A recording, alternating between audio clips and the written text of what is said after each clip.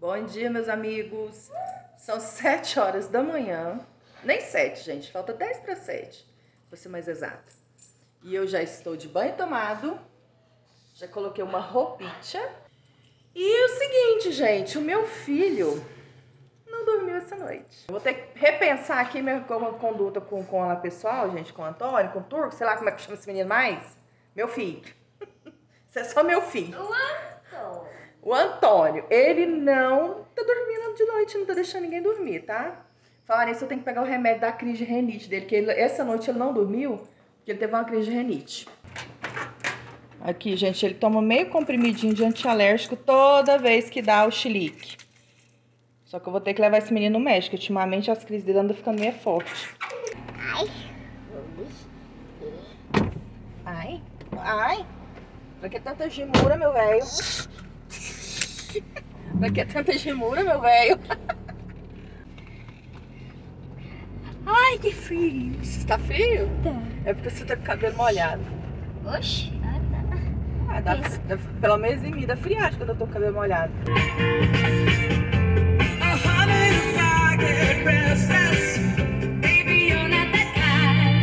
Falem o que quiser, mas eu, pra mim, as músicas dos meus anos 80 não tem melhor, gente.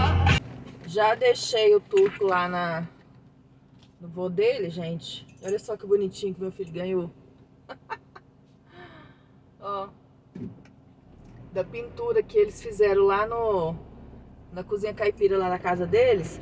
Gente, o meu filho tava falando pra mim que apareceu até no jornal aqui no no jornal aqui de Goiás, essa gracinha. Pediu a caneca pra mim, mas disse que não tinha não, só tinha. Ah, mas tá bom, né, gente? Pelo menos ganhamos uma. Já tô acabando de lavar a louça. Porque não dá, né, gente? Casa suja, louça suja, não dá. E tô aqui prestando atenção no meu celular, porque tem umas coisinhas, detalhes pra arrumar no meu carro que precisa ser arrumado antes dos meninos voltar de férias. Voltada à escola, porque quando os meninos estão estudando, não tem como deixar carro em oficina, né, gente? Eu preciso do carro, né? E acontece, meus amigos, que eu comprei esse carro no final de ano, e final de ano é complicado, né? O pessoal fazer o serviço pra gente, porque primeiro foi ano novo, depois foi Natal, agora é carnaval, no, ano que, no, no mês que vem eu sei lá o que que é, arrumo outra coisa. E aí vai ficando, e os meninos voltam a estudar, e eu vou ficar com o carro perregado. Ontem eu não consegui abrir o capô do carro pra olhar a água e o óleo, porque tá quebrado. Por isso, meus amigos, que eu fiquei muito chateada quando aquele amigo meu fez aquele, aquela parada lá do carro que eu falei pra vocês em outro vídeo. Porque pra mulher já é difícil você fazer esse rolê todo de comprar carro, transferir carro, fazer história em carro, arrumar documentação de carro, tudo. E ter que pegar no pé dos caras, e os caras levam a gente a sério porque a gente é mulher, porque a gente tá sozinha, né? Aí vem um espírito lá das profundezas, ainda atrapalha o rolê que você tá fazendo com o carro.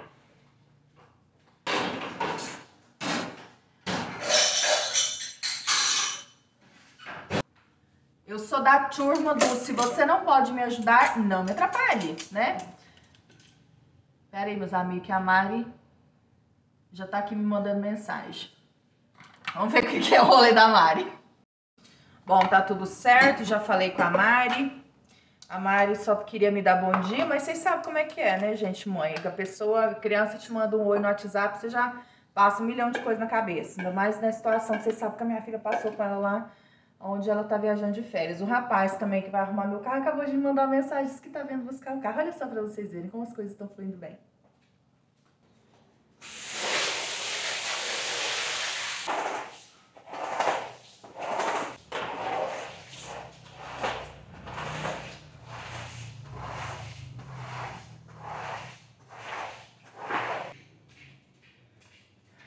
Amigos, justo no dia da faxina descobri que não tem água na rua.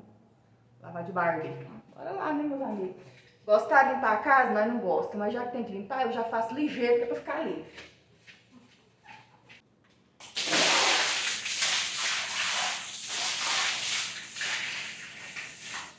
Tem que jogar água Por causa dos mijos do Juliano. Se não fosse os mijos do Juliano, não precisava. Mas a gente vai arrumar aqui, né?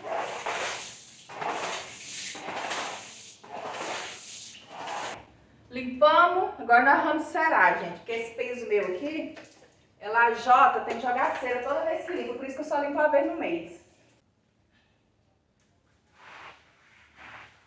Socorro, Deus! Socorro, Deus!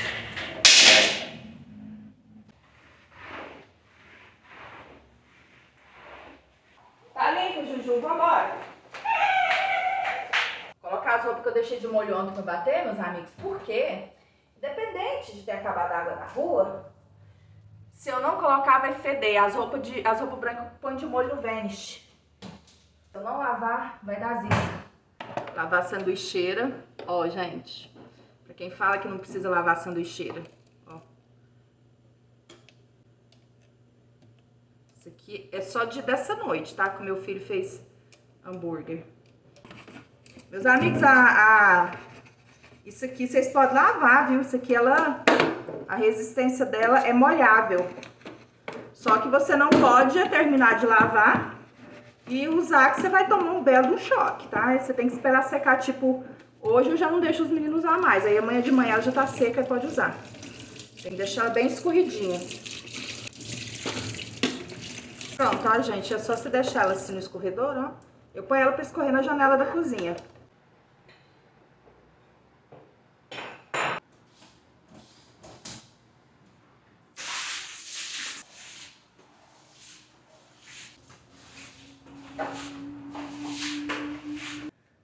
Roupinha lavada. Agora a gente coloca pra secar. Que eu não sou obrigada.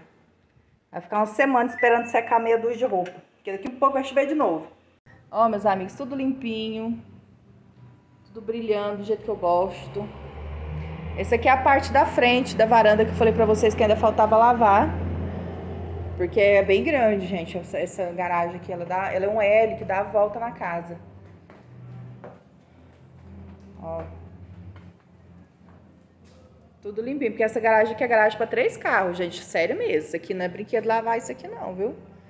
Aí é quando chega aqui, ela vira pra lá. Aí ela é um pouco menor, mas ela ainda é, né, dá trabalho. E caminha dos cachorrinhos, do, do gato do cachorrinho, tá aqui, do gatinho, que vocês dormem tudo junto, né? Joguei fora aquelas cobertas, que esse trem que tava com carrapato, coloquei uns novos. Vamos ver se resolve, porque o veterinário falou que tinha que fazer isso. Lavei as vasilhinhas dos cachorros. E tá tudo limpinho, meus amigos. Cozinha arrumada. Aqui tá os lençol que eu tirei da minha cama, com cobertor, com tudo que eu vou lavar hoje também. E tudo limpo. Quarto da Mari, não limpei porque né, não tô usando, mas tive que fechar a porta, porque senão os gatos ficam entrando aqui dentro. E não pode, né, gente? E aqui a sala, que tá tudo limpinho também. Limpei a gaiola do rato. Ai, gente, o tufão morreu. Agora só tá aqui o Fred. O tufão que ficava nessa jaulinha aqui, não sei se vocês lembram, uma ratinha gorda que a gente agora só tá o Fred. Mas o tufão já tinha mais de dois anos. Eu tava, né? Aqui é meu, meu, meu ninho, que eu deito pra assistir televisão de vez em quando. Nem arrumei, gente, porque daqui um pouco eu ia pra soca, nós vai dormir o soninho do almoço, depois do almoço aí. Aqui tá o quarto do meu filho, que eu acabei de limpar e meu filho acabou de me ligar pra buscar ele. Ele foi lá pro vô dele pra deixar limpar a casa, tá, gente? A casa tá limpa tem cinco minutos, ele já ligou pra buscar ele. O colchão dele eu joguei no lixo. Não dava. Esse colchão ele já tinha 15 anos, eu comprei quando a Mariana nasceu. Ele tava que era só urina, eu tentei limpar, não deu a. Eu limpava a casa inteirinha, o colchão continuava catingando urina. Coloquei lá fora, carregaram. Tá bom, ainda serviu pra alguém, mas, né, gente, não dava mais pra ficar, não. 15 anos já tá bom pro colchão. O banheiro tá limpíssimo. Tudo limpinho, mamacita. Ó, gente. As toalhas tudo dobradinha lá em cima. Gente, aqueles tapetes pesados que eu tinha de crochê, eu troquei por toalhinha. Melhor negócio da vida, viu? Porque aquele tapete não seca, é pesado pra lavar no lavador. É, ih, credo, Deus me livre. E meu quarto, que eu tirei toda a roupa de cama pra lavar. Fronha, tirei tudo, tá só no, na capa do colchão. Isso aqui, gente, é um porrete que eu tenho. Esse porrete aqui, gente, é porque, sei lá, né? Eu durmo com ele do meu lado na cama. Aí que um dia eu tenho que dar uma porretada em alguém, né? A intenção não é essa. Mas se eu precisar me defender, se alguém entrar dentro da minha casa, eu não vou apanhar quieto com meus filhos, né, gente? Vocês sabem que eu vivo sofrendo ameaça aí por causa de, de som alto de vizinho, né? Então, de alguma forma eu tenho que me defender. Ai, graças a Deus, Senhor. Coisa boa. Ó, gente, que beleza. Ó, sai tudo sequinho, ó. Precisa esperar secar, não precisa nada. Minha energia não vem cara, viu, gente? Porque hoje em dia, esses eletrodomésticos assim, eles têm uma, uma capacidade de funcionar com bem menos energia que antigamente, viu? Aqui em casa, 300 reais de energia. Tem três ar-condicionado ligado, mesmo no dia que tá chovendo. Lavador e secador ligado direto. Ó, então pra quem quiser, tiver curiosidade, ó. Sequinho. Lençol. Tudo sequinho. É só dobrar e guardar. Ó, quem voltou. Não é saudade de mim que ele volta pra casa correndo, não, viu, meus amigos? Você sabe por causa de que que é, né, meu filho? É por causa de quê? É por causa do computador. É por causa do computador? Nossa, mas aquele restinho de ilusão que eu pensava que fosse por causa de mim, não é mesmo? Não. Credo, Antônio. Aquariano sem coração. tá bom, também te amo. Meus amigos, agora já são duas e meia da tarde. Agora eu posso almoçar. Mas antes eu vou tomar um vinhozinho. Eu comprei esse vinho aqui, gente, para poder fazer receita, porque eu não sou muito de vinho, não. Vocês sabem que eu sou cervejeiro, eu gosto de uma cervejinha. Mas, como eu iria usar ele hoje, eu falei, bom, então vamos aproveitar e vamos desgustar. Desgustar não, gente. Degustar uma toquinha aqui, ó. Deli... Hum, coisa boa, dá duas. Hum. Gostoso. Aqui no Goiás, vocês sabem que a gente gosta muito de comer carne, né? De boi, de vaca, de qualquer animal ruminante. Já vou direto aqui no assunto do arroz. Ó, abaixo o fogo. Eu faço arroz para semana, então vocês vão ver muito eu inventando assim coisas para fazer com arroz que tá na geladeira, tá, gente? Eu não faço arroz e feijão todos os dias. Eu faço, deixo na geladeira e vou usando. Esse daqui eu fiz antes de ontem. Ó, vai dar pra comer hoje, ainda não vou comer amanhã. Amanhã vocês ainda vão ver o que o arroz é requentado. Aí eu invento. Invento, claro, a receita que os meus filhos gostam de comer, ó. Isso daqui, gente, é repolho roxo, repolho branco e cenoura raladinho que eu já faço e já deixo na geladeira. Gente, acho que meu filho ganhou no jogo. Seu sapo. Eu te matei, seu sapo. Quem morreu, amor? Aquele que, aquele que ficava te matando? Ó, eu coloco um pouquinho de água, gente. E deixo aqui, ó. Meu filho ama esse arroz. Falaram pra mim, Shirley, mas seus filhos comem verdura? Come, gente. Come mesmo, assim, ó. Com gosto. Manteiga também, viu, meus amigos? Vou fazer no azeite porque eu gosto muito do sabor do azeite. Vou colocar aqui nesse azeite quente, gente, folhinhas de sálvia fresca que eu peguei lá na minha horta. Vocês sabem que eu tenho uma horta no meio do mato, mas ela ainda tá, ela ainda vive. Alecrim fresco. E vou colocar, meus amigos, dois dentes de alho, que eu dei uma cacetadinha neles ali, ó. Ó.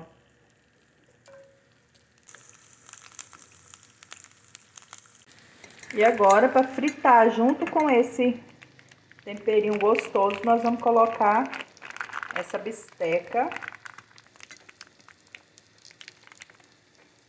Ó, meus amigos. Não vou colocar sal nem nada, gente.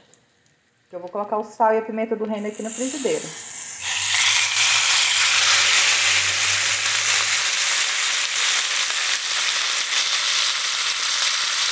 Ó, já vou dar uma volta ligeira.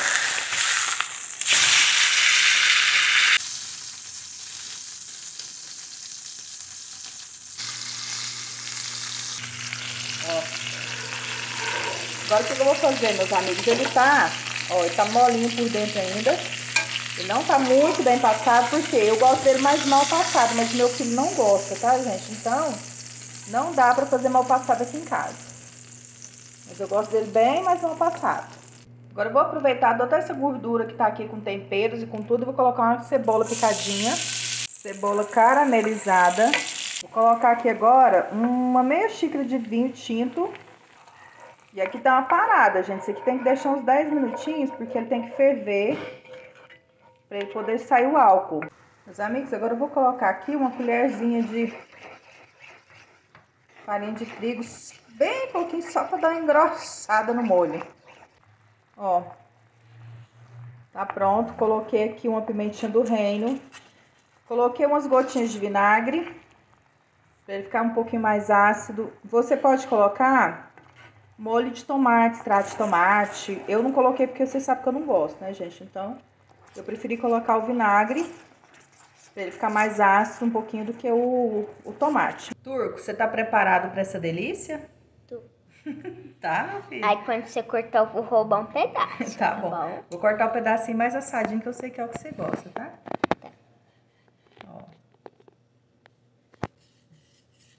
Será que tá bom, amor? Olha que delícia, mamãe. Deve ser. Com certeza, né? É. Ó. Esse pedacinho aqui é o mais macio, que é o pedacinho do filé. Que nem o Juliano, ele é filé. Olha só, meus amigos, rosadinho. Não está cru. Esse daqui ele está ao ponto. Ele não está nem mal passado, nem bem passado, ele está ao ponto. É o ponto que a gente gosta, né, meu filho? É. Ó, parece um rosbife.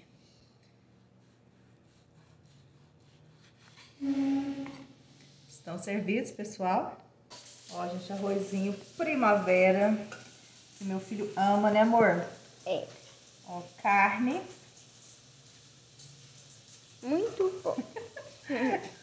Vaca louca. E o nosso molhinho, Taca molho nessa Taca molho. carne. o nosso molhinho madeira. O nosso molinho com madeira. Estão servidos, pessoal? Sim. Eu já fiz essa receita com língua de vaca. É uma delícia também, gente. Língua de vaca ao molho madeira. Se vocês tiverem oportunidade, experimentam.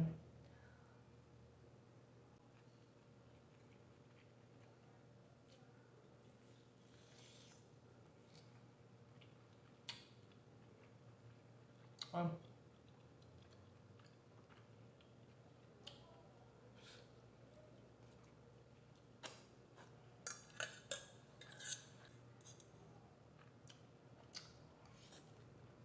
Uhum.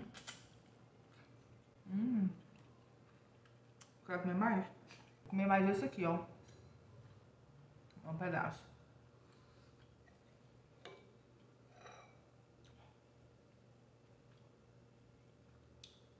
Porque tá realmente, gente, tá muito gostoso. Uhum. Tá muito bom.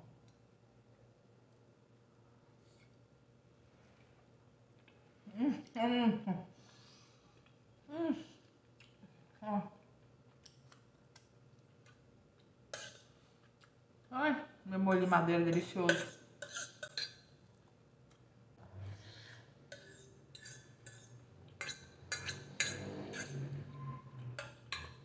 Hum.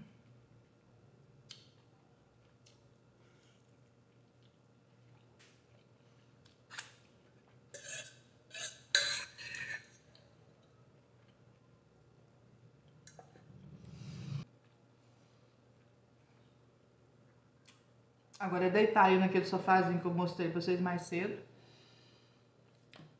Ver um filme na Netflix. Tchau, obrigado. E até o próximo vídeo, pessoal.